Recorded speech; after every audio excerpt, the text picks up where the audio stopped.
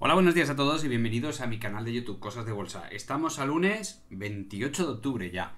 Madre mía, cómo pasan los días. Hoy nos toca ver Rods, Rods Stores, que nos pide nuestro amigo Javesma. Una opinión de Joaquín, que hay que comentarla. ASML, ASML, que nos pide nuestro amigo Torrelomón. Pero luego viene Aluminios y me pide ASLM, ¿vale? Que también existe. Por eso os digo que tener, tener mucho cuidado cuando pidáis una empresa, si me podéis poner las siglas y también el nombre para que no haya ningún tipo de confusión. ¿Qué pasa? Que yo supongo que Aluminio se ha confundido y me pide ASML porque dice que después de la caída y tal y cual. Porque ASLM también existe, que es una minera de plata de Estados Unidos. No tiene mucho sentido porque es una empresa pequeñita con muy poquito baja, eh, capitalización y movimiento diario. Así que para Torrelomón y Aluminios, ASML. Si estoy equivocado, Aluminios, por favor escríbeme y coméntamelo. También vamos a ver Faes Pharma para José Carlos y línea directa para Sier Alcibar. Y además os traigo Repsol con el barrido del Bren, Enagas, que hace un mundo que no la traigo, que ha presentado resultados y lo tenemos que ver para miembros del canal, y Farmamar.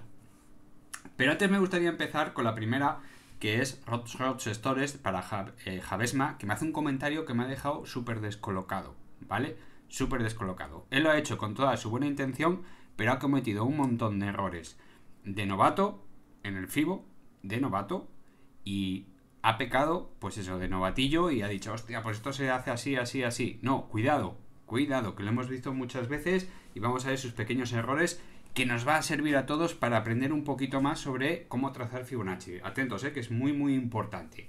Ya sabéis, si llegáis hasta aquí y os gusta lo que ve, oye, pues eh, os invito a que os suscribáis al canal, activar la campanita y darle un like. Por cierto, hemos superado ya los 10.000 suscriptores con cuatro años de canal es una basura, también hay que decirlo.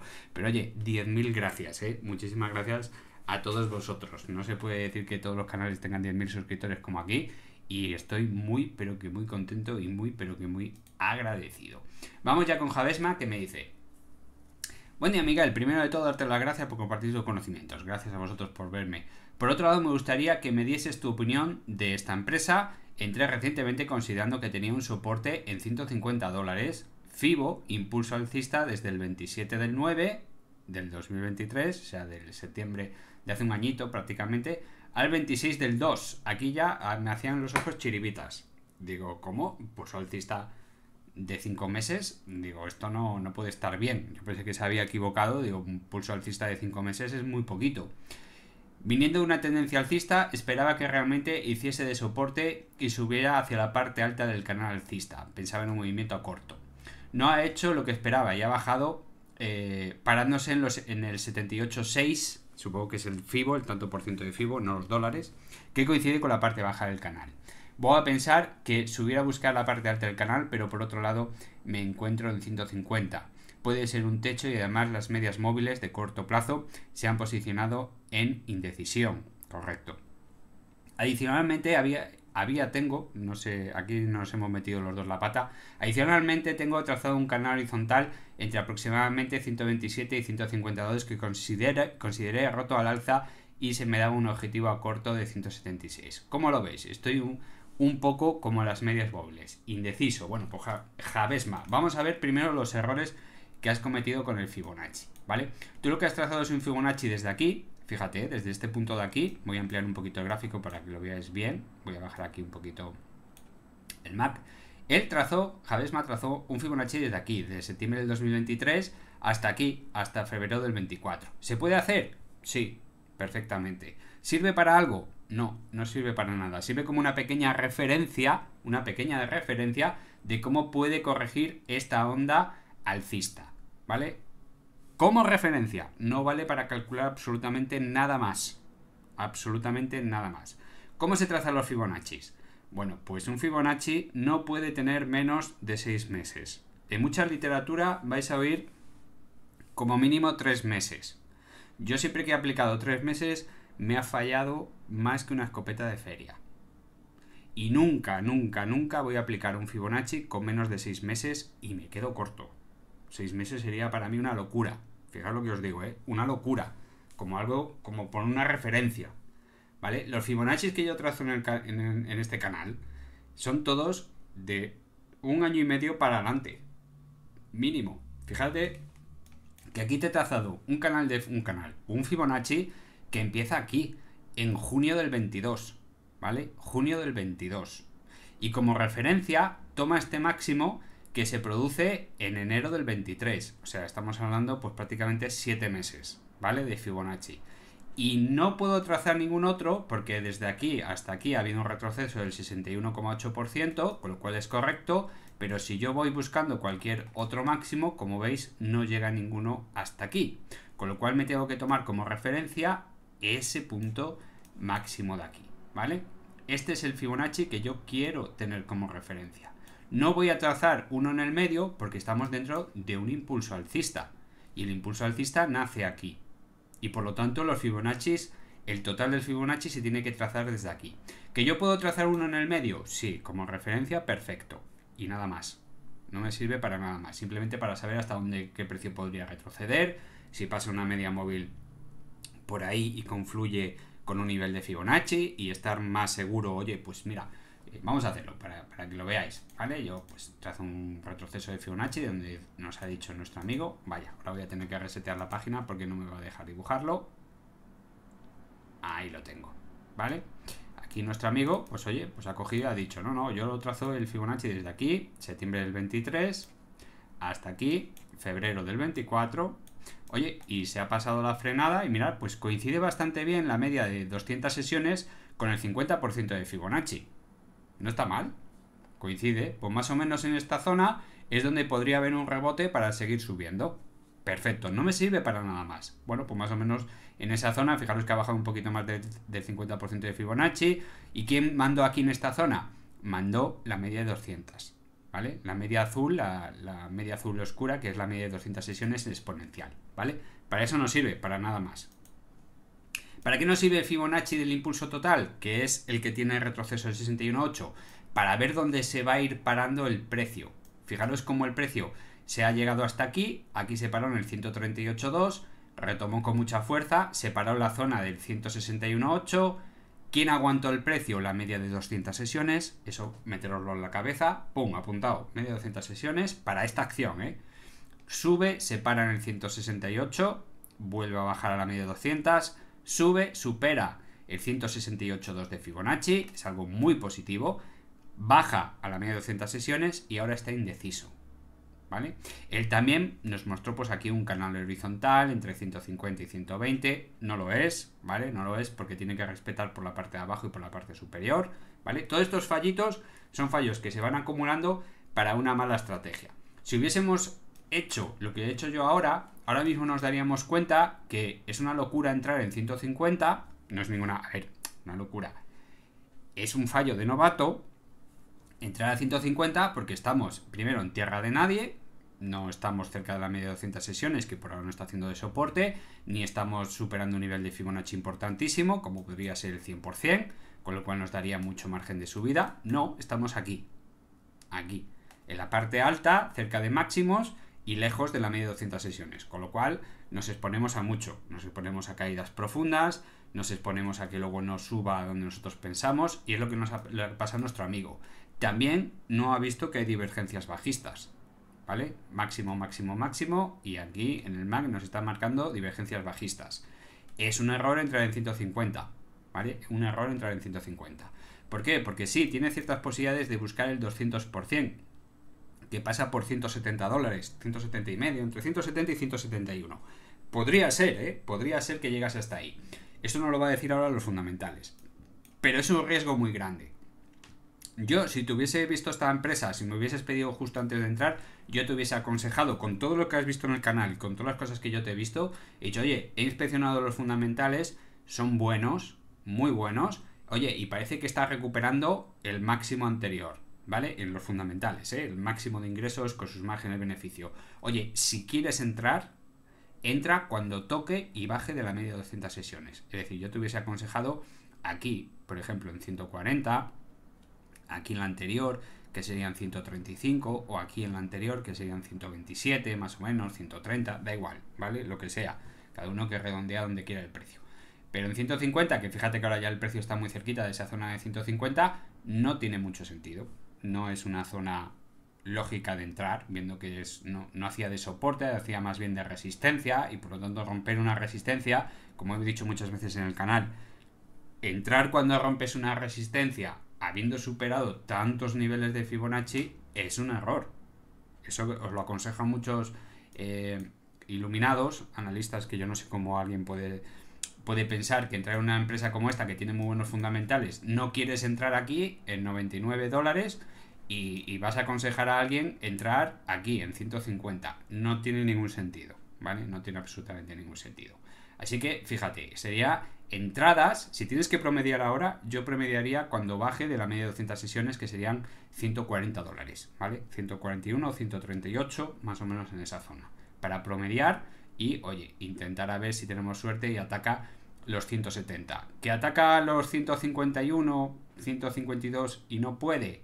Bueno, pues por lo menos tu media está aquí abajo, en torno a 145, por ejemplo, 143 o 146 como te enseñé a calcularlo, acuérdate del vídeo de cómo se calcula tu precio medio con pequeñas inversiones. Y bueno, pues una vez que, que alcances ese precio, si te ves indeciso, adiós muy buenas y no pasa absolutamente nada. ¿Por qué creo yo que tiene bastante posibilidad de buscar 170? Porque si reseteamos el gráfico y nos vamos a los fundamentales, bueno, pues vemos una empresa que estaba creciendo de forma lineal en, ingresos, los márgenes habían mejorado un pelín, tiene márgenes pequeños, pero bueno, son aceptables. Sufre la típica caída que hemos hablado muchísimas veces, que sufre una caída y luego recupera, oye, y ha remontado bastante bien.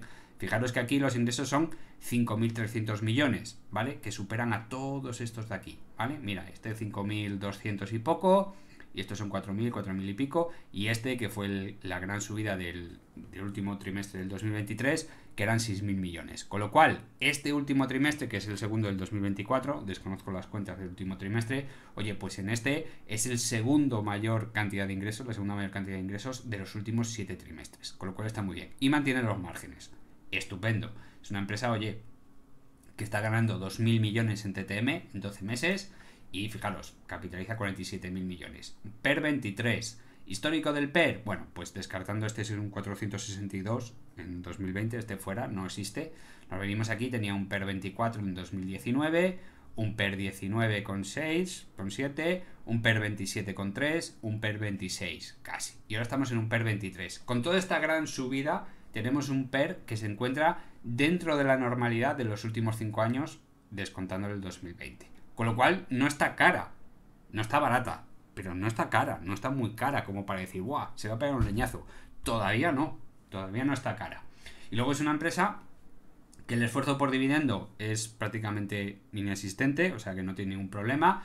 Tiene mucha deuda, que son 5.700 millones, pero tiene una caja muy generosa que cubre el 90% de la deuda y un free cash flow que fijaros son 1.750 millones de dólares, con lo cual estupendo y maravilloso. Y ha ganado más de 2.000 millones, con lo cual tiene una deuda que es prácticamente no llega ni a tres veces lo que gana en un año, ¿vale? En TTM, lo que ha ganado en, el último, en los últimos 12 meses. Con lo cual no es una empresa endeudada para nada. O sea, tiene unos fundamentales muy buenos. Mientras siga por este camino, es decir, en la siguiente presentación de resultados, pues tiene que estar en torno a 5.500 millones de ingresos, con unos cercanos a 600 millones de beneficio. Eso nos daría pues un camino a seguir hasta el 200%, que serían 170 dólares. Por lo tanto, compañero Javesma, siento decirlo que no coincido para nada contigo. Ni canal horizontal, ni Fibonacci de 5 meses, ni nada. Cuando nosotros nos damos cuenta de estos pequeños detalles, Fijaros, aquí hemos pasado de un Fibonacci que nos hace de resistencia para el precio, ¿vale? Nos hace de resistencia para el precio, pero clarísimamente lo que nos está haciendo de soporte es la media de 200 sesiones. Ahí está el detalle, ahí es donde te tienes que fijar, ¿vale? No podemos utilizar solo el Fibonacci. No podemos utilizar solo la media de 200 sesiones. No podemos utilizar solo un canal. No podemos utilizar una divergencia. Tenemos que utilizarlo todo al mismo tiempo. Y una vez que lo dominas, que ves, dices, ah, puñetas, la parte superior, lo, que me hace de resistencia, son los niveles de Fibonacci bien trazados en el punto inicial. Y lo que me hace de soporte es la media de 200 sesiones. ¿Dónde tengo que entrar? En la media de 200 sesiones. ¿Dónde me tengo que salir? Cuando falle la estructura en los niveles de Fibonacci. ¿Vale? Y eso es lo único que puedo, puedo decir sobre esta acción. Por los fundamentales son buenos y están mejorando. Con lo cual es bastante, bastante probable que llegue hasta los 170. Por eso, Javesma, espero que te haya servido esto. Y ya sabes dónde promediar. Si puedes promediar, si quieres, si no te apetece, con 150 todavía tienes bastantes posibilidades y márgenes para 170, que no está nada mal. Pero si quieres promediar, tendría que ser en 140, ¿vale? En torno a 141, 138, 137, ¿vale? Por ahí, por esa zona. Y siempre teniendo en cuenta que hay divergencias bajistas y que 170 ya es un logro para los fundamentales de hoy. Si mañana lo supera, pues entonces ya nos podríamos poner objetivos para el 238.2 que serían 190 dólares y tal. También estamos en el mercado americano que tiene más fuerza y más recorrido que el español, por ejemplo. Hay muchos pequeños detalles, ¿vale? Pero, oye, todos los días aprendemos algo.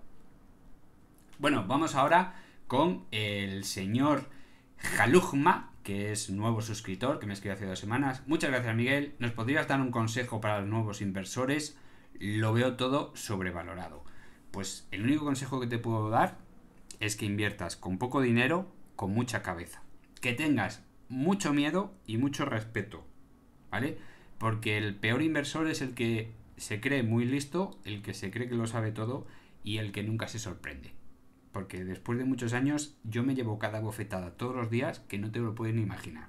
Así que siempre, siempre con mucho miedo y mucho respeto. Conserva el máximo cantidad de dinero posible porque es la herramienta para ganar dinero. Si tú vas invirtiendo a lo loco cantidades enormes de dinero, llegará un momento que estés tan, tan atrapado que no puedas ni moverte, no puedas ni promediar, ni puedas hacer eh, acudir a nuevas inversiones con precios muy buenos. Imagínate que te encuentras Repsol a 5 euros, eso es una compra clarísima. Eh, ArcelorMittal por debajo de 7, compra clarísima si tú tienes todo el dinero apalancado en movimientos absurdos, pues no vas a poder aprovecharte de esos movimientos. ArcelorMittal a 7, te puedo garantizar que en año y medio, dos años, cuando vendas en 33, si me haces caso, pues oye, habrás multiplicado por 4,5 la inversión. A Repsol en 5 euros, si me haces caso y después vendes por encima de 16, pues habrás triplicado la inversión. Y cosillas así, ¿vale? Pero para eso tienes que tener el dinero en la mano. Tienes que invertir poco dinero con muchísima cabeza. Y ahí es donde se gana realmente, ¿vale? Luego también tengo aquí apuntado opinión de Joaquín. Te estoy buscando, Joaquín, aquí está. Dice, buenísima noticia, Miguel. No sé si habrá comentado un error de novato, pero he vendido el 35% por eso de que es una noticia sin saber la repercusión de los ingresos y lo típico de vender en la noticia. Está hablando de Farmamar, ¿vale? Pero esto tiene muy buena pinta. Espero que no pare hasta que todos los suscriptores estemos en positivo y si baja que sea para coger impulso y para darme la oportunidad de comprar las que he vendido. Muchísimas gracias por tus análisis, Miguel. Yo siempre digo lo mismo. Mientras tú vendas con beneficio, está bien, bien vendido. ¿Vale? Que tú vendas a, yo que sé, a 70 euros Farmamar, me parece que las estás regalando. Desde mi punto de vista. Pero yo no soy adivino Mañana sale una noticia negativa sobre Farmamar y habrás hecho el gol de tu vida. ¿Vale? Nadie sabe lo que va a pasar mañana. Y por eso, cuando tú vendes con beneficios, es una muy buena operación. ¿Que mañana descubrimos que valía 350 euros por acción? Oye, pues eso no lo sabe nadie. Nadie. Mañana a lo mejor descubrimos, oye, que nos denuncian por cualquier cosa, que cerca, pues yo qué sé, pues la habían descubierto unos japoneses antes y nos quieren quitar la patente o lo que sea, y te arruinas. Así que, desde mi punto de vista, cualquier, cualquier venta, ya sea por miedo, ya sea por respeto, ya sea porque quieras tener el dinero para otro tipo de inversión, me parece muy bien. Me parece muy bien. Ahora, con todos los datos que tenemos encima de la mesa, si te baja, yo que sé, imagínate que la semana que viene pega un bajón por toda esta subida y baja 55, te recomiendo que compres. Te recomiendo que compres, ¿vale? porque tiene muy buena pinta. Por ahora tiene muy, pero que muy buena pinta. Ya veremos en qué termina todo esto. Vamos ahora con ASML para torrelodones y aluminios. Bueno, pues como veis aquí estoy trazando Fibonacci a colación de la acción anterior. Donde, a ver si pongo el gráfico como lo tengo que poner. Aquí está. ¿vale? Donde tengo trazado un Fibonacci general desde el 2020, ¿verdad? Después de la gran caída de la pandemia, cuando se resetea el precio, después de toda esta caída, donde hay una exageración en el movimiento de la acción y en todas las acciones. Luego, bueno, pues viene una gran subida todo lo que es el 2021, forma de M, que predice unas caídas eh, bastante profundas, donde llega incluso a tocar el, el 38.2 el retroceso hasta un 38.2 de Fibonacci incluso lo pierde, bueno, pues nada, no pasa absolutamente nada, corrige muy bien, ya veis los ataques en la media de 200 sesiones, cómo se van produciendo, vuelve a subir y a partir de este mínimo, ¿vale? Ya está, fijaros que esto es octubre del 2022, es decir, este Fibonacci tiene dos años, octubre del 2022 hasta octubre del 2024, otros dos años de Fibonacci, trazo este nuevo Fibonacci, ¿vale? Este Fibonacci empieza aquí, pero claro, si yo me lo llevo aquí, pues todo esto se mezcla y no me gusta, ¿vale? Así que lo suelo separar, voy a ponerlo bien en Fibonacci, como tengo línea de puntos se ve perfectamente, ahí, ¿vale? Lo suelo separar para no liarme, pero este Fibonacci comienza aquí, ¿vale? Nuevo impulso alcista y corrige, ¿vale? Y corrige. ¿Qué le ha pasado a ese? Bueno, pues que estaba atacando la media de 200 sesiones, hizo de resistencia, presenta unos resultados que son buenos, son muy buenos, y se hunde. Bueno, pues esto tiene una explicación, lo he dicho varias veces. La bolsa es una bolsa de excrementos. Una bolsa de excrementos. Y tenéis que tener en cuenta que, como he dicho muchas veces también, hay acciones que tienen buenos fundamentales y las atacan muy duro. Muy duro. Pues nada, simplemente tenéis que poner una balanza. ¿Somos personas psicológicamente fuertes? Sí o no. Pues sí, pues simplemente tienes que poner los valores encima de la mesa. Vamos a ver los fundamentales. Cojo los fundamentales de esta empresa y digo, uy, ¿qué ha pasado aquí? Sube, sube, sube, sube. Márgenes muy buenos, aceptables, muy aceptables, muy buenos. Me gusta. Bajón en el primer trimestre del 2024 y luego mirar qué bien recupera. Esto es lo que yo quiero ver en la primera empresa que hemos visto, ¿vale? En Rots Rots, ¿vale? Que esto, pues Rots Rots se encuentra aquí. Ahora tiene que llegar hasta aquí. Oye, ha recuperado todo. Y fíjate aquí, aquí ganaba 7.000, perdón, ingresaba 7.240 millones y aquí 7.500. Ha mejorado, es el trimestre que más ha ganado de los últimos 7. Con unos márgenes muy buenos, casi casi tan buenos como los demás. Los está consiguiendo. Oye, es una empresa que en 12 meses gana casi 7.000 millones de dólares. Coño, ¿cuánto capitaliza? 261.000. Esto nos da un PER casi 38. ¿Qué PER tiene de media? Pues tiene un PER 43, PER 47, PER 49, PER 36 y PER 34. ¿Con un PER 37 está cara? No. En la, última, en la media de los últimos 5 años me dice que está en el tercio inferior. ¿Está? No puedo decir barata. Pero cara no está. Está baratilla. Baratilla. ¿Vale? Entre tú y yo. Baratilla. Bien, ¿el esfuerzo por dividendo es criminal? No, 34%, está muy bien. ¿Está hiperendeudada? Mira lo que tiene, tiene más caja que deuda.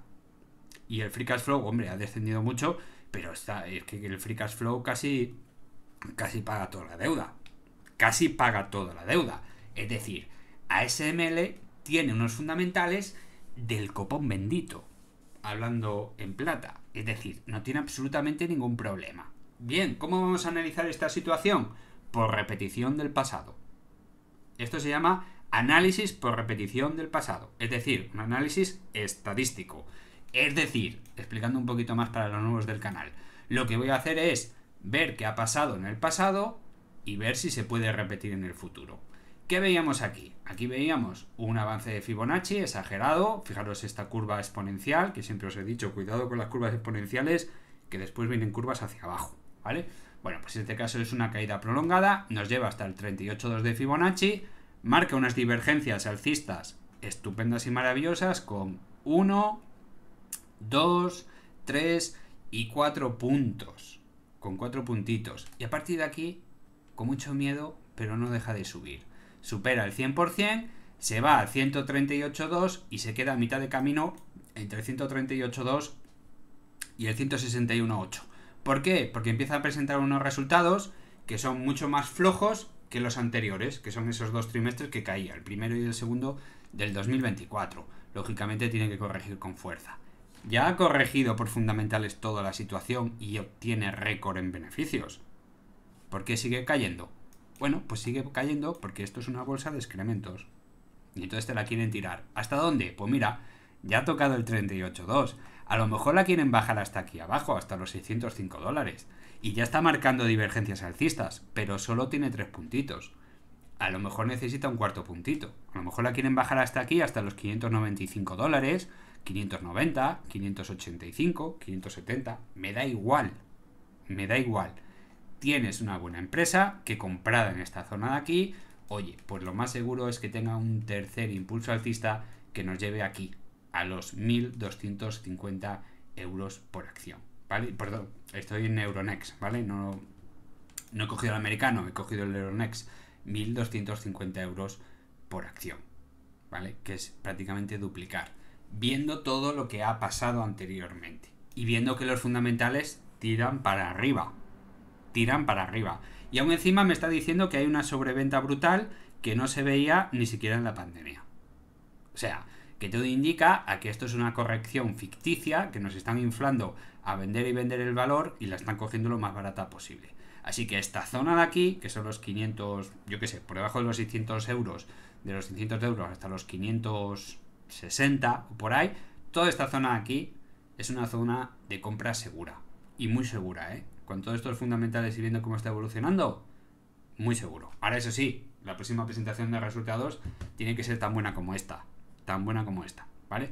Si no, pues oye, todo esto que estoy diciendo no vale para nada. Si vuelve a fallar en los fundamentales y nos pilla por aquí abajo, pues a lo mejor podríamos ver unas caídas muy bruscas, ¿eh? Porque mira qué, caída ha tenido desde la media de 200 sesiones hasta 38.2 del tirón, ¿vale? En, en tres sesiones del tirón, porque sí, eso es bajar desde los 795 dólares, perdón, euros, 800 euros para redondear, desde los 800 euros hasta los 623. Una caída de casi el 25% porque sí. Porque sí.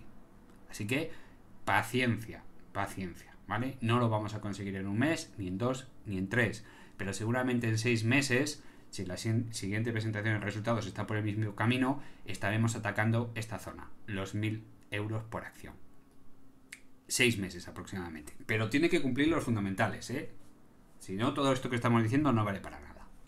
Vamos ahora con Faes Pharma para José Carlos, que es una acción que hace muchísimo que no traigo, donde eh, pues nos vale a colación de la anterior, ¿vale? Porque yo sé que da mucho miedo, ¿no? Cuando dices, es que, jo, ha caído mucho, pues fíjate de los fundamentales, los fundamentales lo son todo.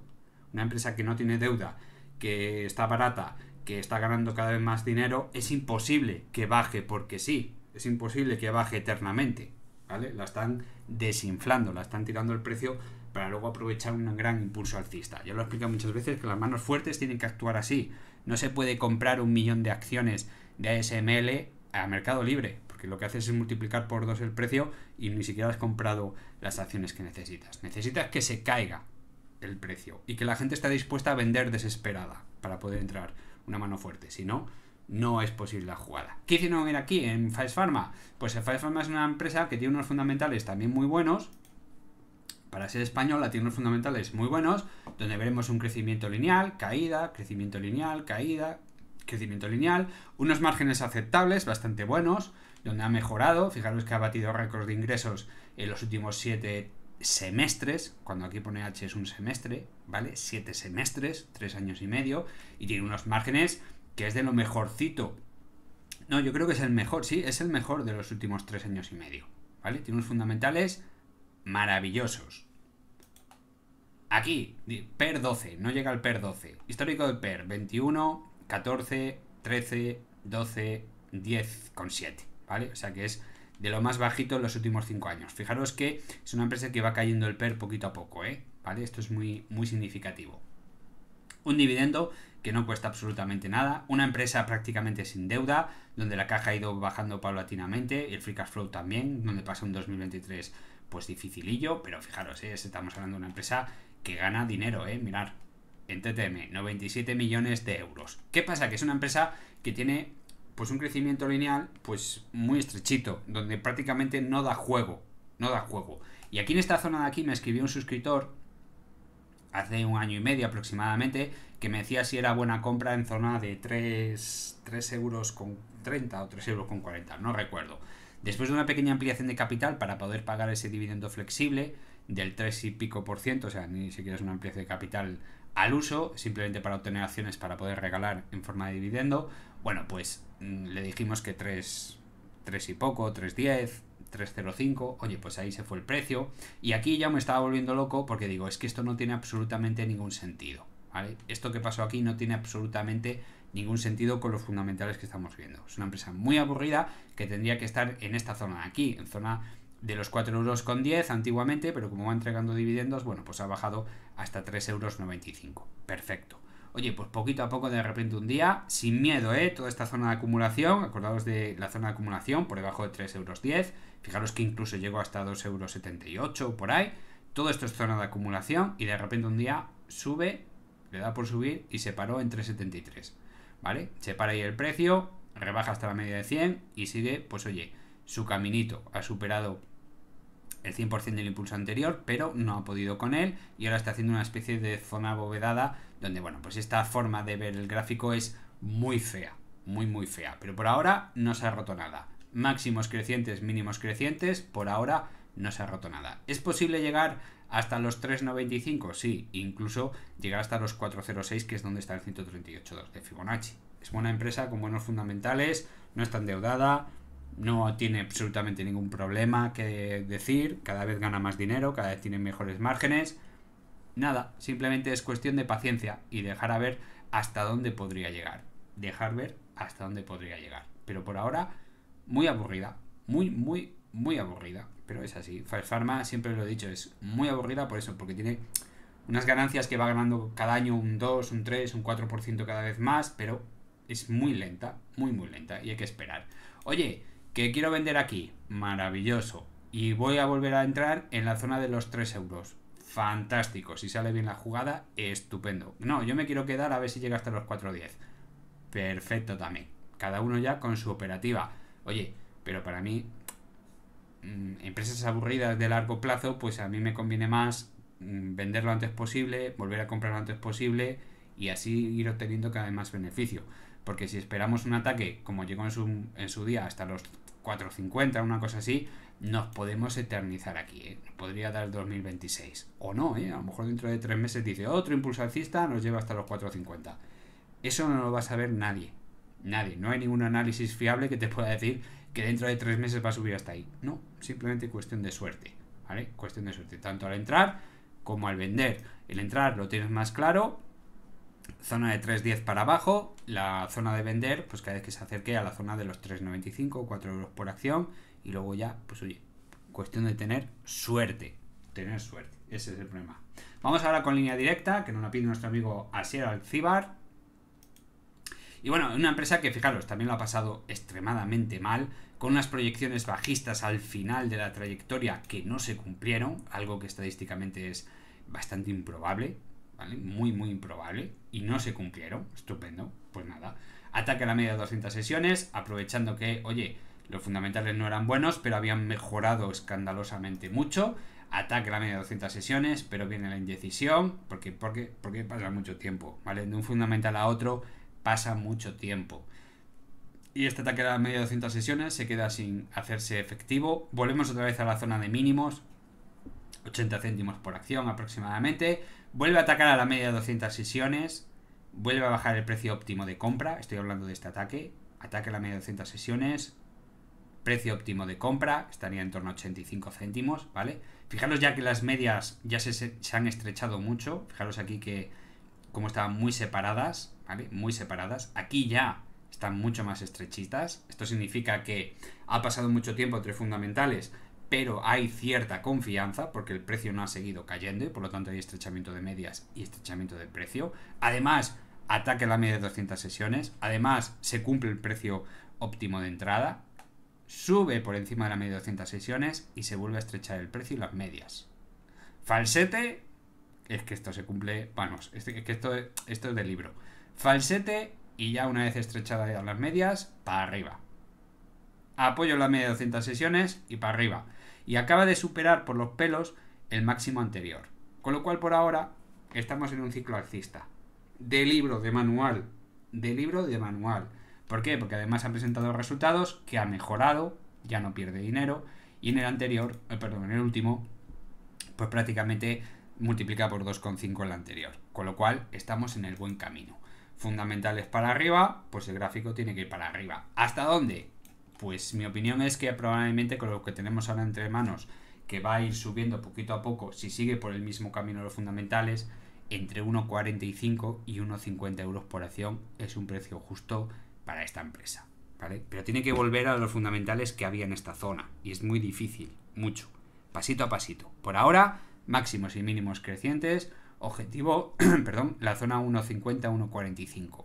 ¿Vale? Podría quedarse un poquito más abajo, 1,35€, 1,40€, ¿vale? Porque ahí hay ciertas resistencias de los niveles de Fibonacci, pero por ahora es lo que tiene que hacer. Fijaros que el precio ahora está muy cerquita de este Fibonacci que se rompió hace mucho tiempo, que es un euro 22, que es el 161.8, y ahí, bueno, pues puede haber cierta pelea. Luego tiene que pelear con el 138.2, que es un euro 30. Luego tiene que subir hasta aquí, que es un euro 42. O sea, que le quedan muchos, muchos niveles que pelear y mucha, mucha paciencia. Posiblemente para el 2026, los finales 2025, estaremos hablando de atacar esta zona de aquí, ¿vale? Cuando hablo para finales 2025, me refiero pues a esta época. Septiembre, octubre, noviembre, eso nadie sabe exactamente en qué fecha. Si me lo pedís por horas y por días, voy a fallar seguro. Por trimestres, a lo mejor acierto algo, ¿vale? Así que para finales de 2025, último trimestre del 2025, es bastante probable que se encuentre atacando esta zona de aquí, ¿vale? Con sus correcciones y demás. Pero tiene que seguir marcando máximos y mínimos crecientes, apoyándose en la media de 200 sesiones, que ya están todas mirando hacia arriba. Oye, y no abrirse demasiado. Si se abren demasiado las medias, entonces podríamos ver correcciones más profundas que no interesa a nadie. Bueno, pues ya veis cómo está el Bren. Permitidme que le dé F5, resete un poquito el gráfico y mira cómo está el Bren, ¿vale? Después del ataque de Israel sobre, sobre mm, Irán, nah, unos cantamañanas. Unos cantamañanas. Ya lo dijimos aquí en el canal hace algún tiempo cuando dijeron, ¿y cómo va a ser la respuesta? Y digo, yo qué sé, cómo es la respuesta y cuándo va a ser. Pero si tú haces una respuesta y tardas tres semanas en atacar, pues a los de Irán les da tiempo a irse. Y luego, pues, para mí que está todo consensuado, ¿vale? Por Estados Unidos que digan, mira, no vamos a escalar más el este, el conflicto, Vamos a intentar hacerlo bien. Tú le tiras allí cuatro pepinacos, donde en cuatro mierdecillas de estas, espérate unas semanas, el otro luego no te ataque a ti. Están haciendo un papelón estupendo y maravilloso. Porque lo que está claro es que Israel no puede atacar a Irán con su aviación que tiene ahora mismo de esa forma sin ayuda de Estados Unidos. Necesita cierta logística que le viene de Estados Unidos. Y Estados Unidos no va a permitir una escalada ahora mismo con la tensión que hay en Oriente Medio. No lo creo que lo vaya a permitir. Igual me estoy equivocando, ¿eh? pero vamos, esto es mi punto de vista. Con lo cual, la respuesta de Israel se esperaba una subida del precio del petróleo y nada nada. Una tontería. Y por lo tanto, la respuesta al petróleo, que tiene varios factores, no solo ese, oye, pues tiene esta respuesta. ¿Qué le ha pasado a Repsol? Pues que tiene la misma respuesta, ¿vale? Tiene la misma respuesta. Ya sé que muchos opinan que Repsol, que si las energías renovables, nah, chorradas. Repsol se mueve por el crudo, nada más. Solo por eso. Y por ahora, pues tiene un soporte en esta zona de aquí, bueno, un soporte.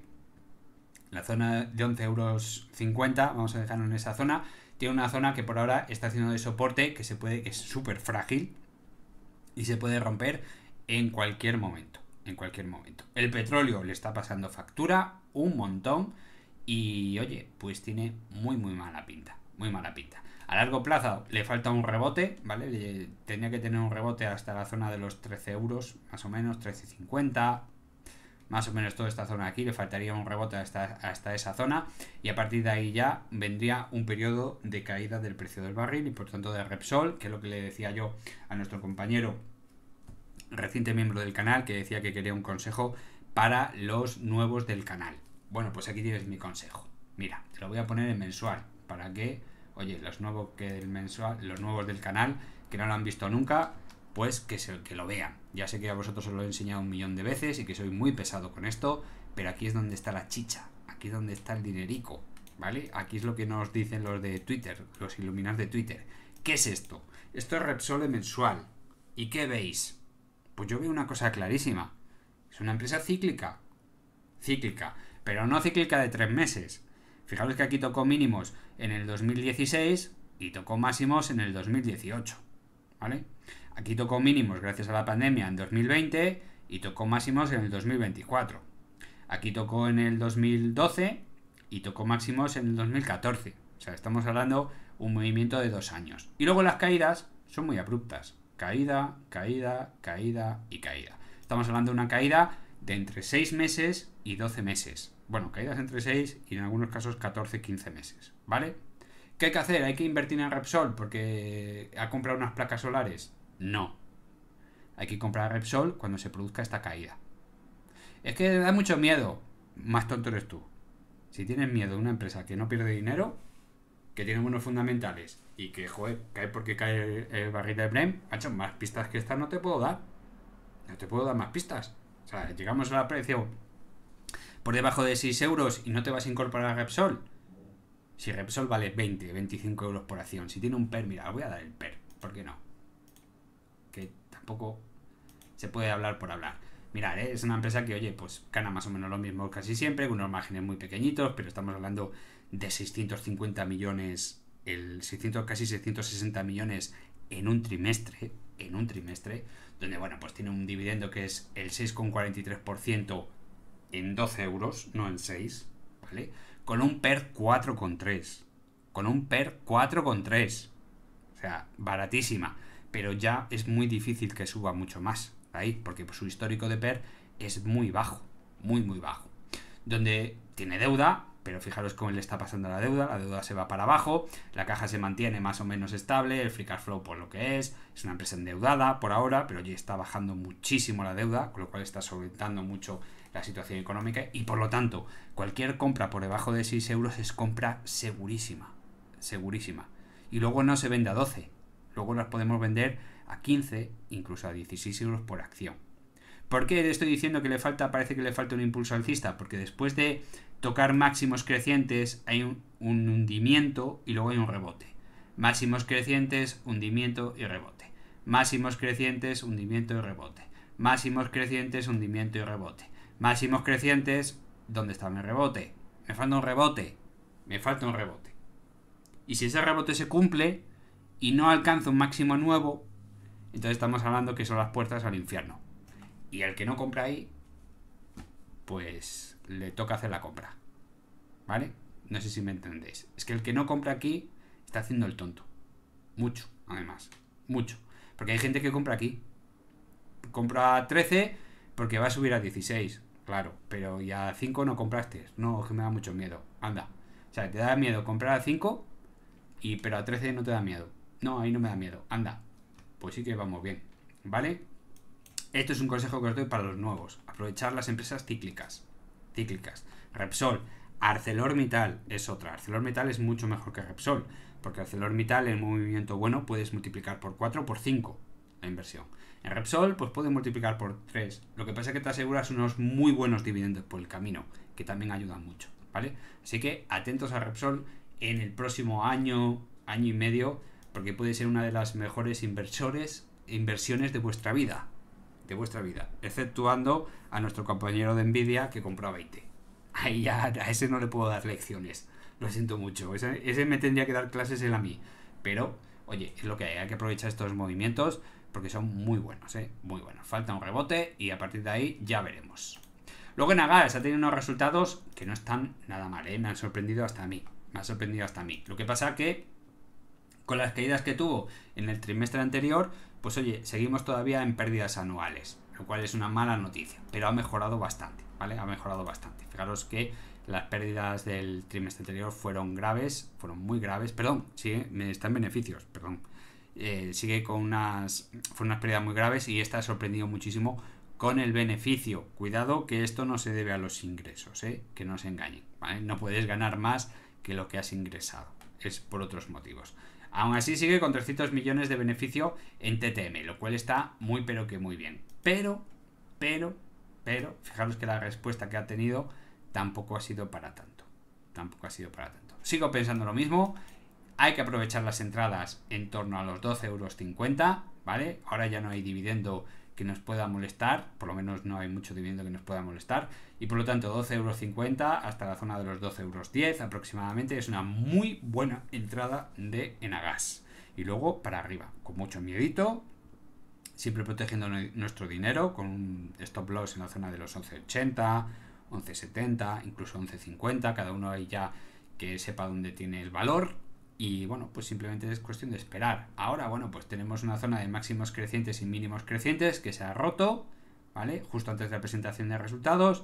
Volvemos a estrechar medias en la media de 200 sesiones. Fijaros cómo se estrechan las medias y el precio en torno a la media de 200 sesiones, que es buena señal, siempre es buena señal. Y pues ahora va a tocar pues un periodo de indecisión que si nos lleva hacia la zona de 2.1250, compra segura, y si rebota hacia la parte superior, no tocar, no entrar. No hay que entrar, ¿vale? Se entra aquí. Aquí simplemente se observa. Y en la siguiente jugadita que baje es donde hay que entrar, ¿vale? Así que ahora mismo Nagas está en tierra de nadie. Está para el que está dentro no vender y para el que está afuera no comprar. Hay que esperar a ver qué es lo que quiere hacer. Y luego tenemos Farmamar, pues otra vela verde consecutiva. Voy a resetear el gráfico porque la verdad que está muy pero que muy interesante. Es un movimiento alcista muy potente, pero es que tiene unas noticias que son espectaculares, ¿vale? Con esto prácticamente al 99,9999% tiene asegurado la aprobación en Estados Unidos, ¿vale? y como no nadie sabe lo que va a pasar, porque mañana puede pasar cualquier cosa que nos pueda meter miedo, pero por ahora la cosa pinta muy pero que muy bien. Muy pero que muy bien. Y el problema que, que tienen las manos fuertes es que se han encontrado con una acción donde los viejos, los viejos inversores, pues no van a soltar ni una acción a este precio. Ni una. No la van a soltar. Hombre, nuestro compañero ha vendido un 35%. Pues ¿Qué quieres que os diga? La ha vendido muy barata. Sí, la ha vendido muy barata. Pero ha vendido, oye, si mañana quiere entrar por aquí, por la zona de los 55, por ejemplo, si que ya está ahí, pues estupendo. Y si no, también estupendo. ¿Vale? Cada uno con su dinero tiene que hacer lo que le dé la gana. Mientras esté perfectamente informado y sabe exactamente lo que está haciendo, a mí me parece muy, pero que muy bien. ¿Cuál es el problema con Farmamar? Oye, pues que Estamos muy separados de la media de 20 sesiones, aunque ya he dicho muchas veces en esta acción que el técnico aquí no vale para nada se mueve, se mueve totalmente libre, no sigue absolutamente ningún manual, no vale absolutamente casi nada aquí, excepto los gap en alguno de los casos, y lo único que os puedo decir es que si baja, imaginar que hay un ataque a los 55 euros, entrar con lo que podáis. ¿Vale? Aquí ya no vale medias tintas. Tenemos un 99,9999% de un gran éxito.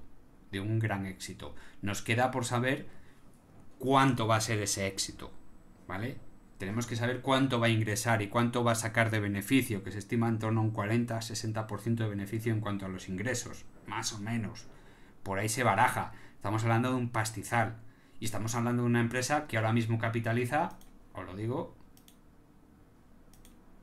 capitaliza 1.300 millones. No puede ser, no puede ser. Estamos hablando de una empresa que podría ganar 200 millones en un año, ¿vale? Esto sería un PER 6.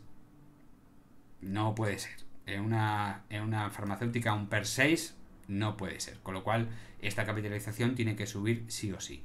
Cualquier bajada, cualquier bajada que os dé cierta confianza, da igual el nivel, ¿vale? No intentéis comprar las subidas porque al final siempre llegáis tarde. Aunque comprando ahora te puedes llevar un susto y después una alegría, ¿vale? Pero no va a ser mañana ni dentro de tres meses, ¿vale? Estamos hablando de para 2000 finales 2025, mediados 2026, incluso 2027. Yo no vendería antes de 2027.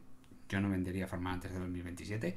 Ahí podríamos llevar una sorpresa muy, pero que muy positiva. Estoy hablando de multiplicar los precios actuales, multiplicarlos por 3, incluso podría llegar a multiplicar por 4, ¿vale? Estamos hablando de 300 euros por acción, pero lo típico serían 225, ya expliqué en el vídeo por qué Podría haber momentos que suba hasta 300, 350, ¿por qué no? Pero eso no lo sabe nadie. Tenemos que ver los ingresos, tenemos que ver el beneficio, tenemos que acechar nuestras cuentas y decir, sí, esto sí, esto no, esto sí, esto no. ¿Cuánto va a invertir en I+D? Que por ahora va a superar los 120 millones casi seguro, que es un pastizal, pero esos 120 millones de hoy que hoy es una auténtica ruina, con lo fundamental, con, con, los ingresos que tiene y el beneficio es una auténtica ruina, una salvajada, para unos ingresos de 200 millones de, perdón, 200 millones de beneficio, no es para, echar cohetes, o sea, no es para tanto. Y por lo tanto, estamos hablando de cierto, cierto potencial de subida bastante, bastante interesante. A estos precios,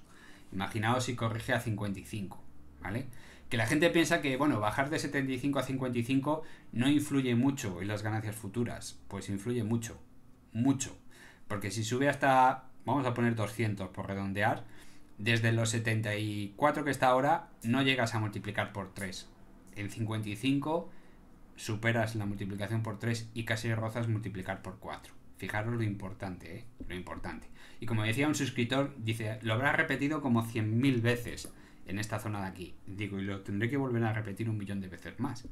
Dice, si Farmamar por debajo de 40 euros está regalada. No es que esté barata, es que está regaladísima. O sea, es una cosa totalmente ilógica. Por debajo de 80 euros, que es donde yo creo que no debería haber bajado nunca, pero como esto es una bolsa de excrementos, pues aquí se puede hacer cualquier cosa que no te va a pasar absolutamente nada. Pues por debajo de 80 es que es un precio pues bastante, bastante normalito, muy bajito, muy, muy bajito. 40 es de risa, 26 es una locura. O sea, 26 es como si me dices ahora que me quieres vender acciones de Nvidia a 20 dólares. Te digo, espérate que voy a pedir una hipoteca. Voy a hipotecar la casa y me das las acciones a 20 euros de Nvidia. Ahora mismo, con los ojos cerrados. Bueno, pues esto es lo que pasa con Farmamar. ¿Vale? Todavía hay gente que me pregunta que si tiene que entrar o no. Digo, pues es que no lo sé.